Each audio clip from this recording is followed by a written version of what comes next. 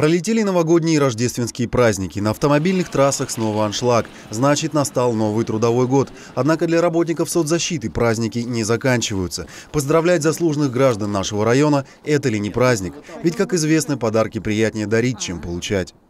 Уже стало хорошей доброй традицией чествовать юбиляров, начиная с 90-летнего возраста, участников войны с э, юбилейными датами рождения. И в этом году традиция это будет продолжена. Э, запланировано у нас поздравление 147 э, юбиляров. Вообще у нас проживает в районе, их осталось совсем немножко, 105 человек. Мы поздравляем, помимо того, что участников, инвалидов войны, вдов участников войны и тружеников тыла. В минувшем году наша съемочная группа вместе с Еленой Гусевой была в гостях у таких заслуженных ветеранов войны и труда, как Анна Талызина и Антонина Морозова. Новый год – юбилейный для еще одного героя войны.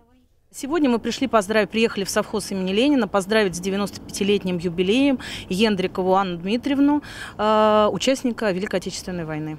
Не поздравить с этой круглой датой такого выдающегося человека не смогли и сотрудники сельского поселения совхоза имени Ленина и представители Совета ветеранов. Ой, радость моя! Я вас поздравляю с юбилеем, чтобы все было хорошо, хорошо, хорошо. Мы тоже присоединяемся к поздравлениям главы. Держите от нас цветочки, Вообще одеяло. К поздравлениям присоединились также глава Ленинского района Олег Хромов и президент Российской Федерации Владимир Путин, приславшие поздравительные письма. Да я ведь не достойна такой чести. Анна Дмитриевна Ендрикова – человек очень скромный, но кто, как не она, достойна глубокого уважения и внимания. В 1942 году 20-летней девочкой она служила в Мурманске в военном морском госпитале. Ей всего 20 лет было, когда она попала в госпиталь. Это уже человек, который понимал, что это такое, он знал, что такое война, сама какую-то часть прошла ее.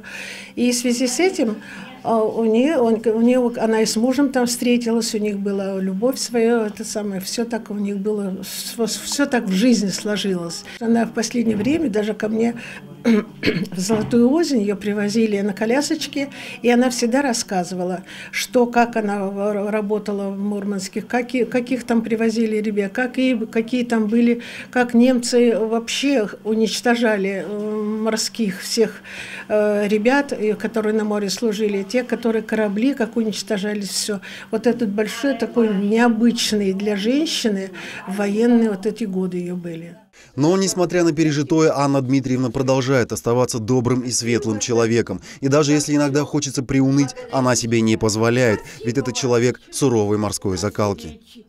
Да только делать людям добро, чтобы все были счастливы. Живу, держусь. Это морской термин. Характер морской. Моряк не, не плачет, не теряет духа никогда. Она много повидала на своем веку, но кроме трудностей в жизни были и яркие страницы. После войны трудилась в совхозе имени Ленина. Такие люди всегда в строю, ведь они твердо знают «надо». Илья Кремнев, Владимир Бежонов, Анастасия Нурхонова, Видное ТВ.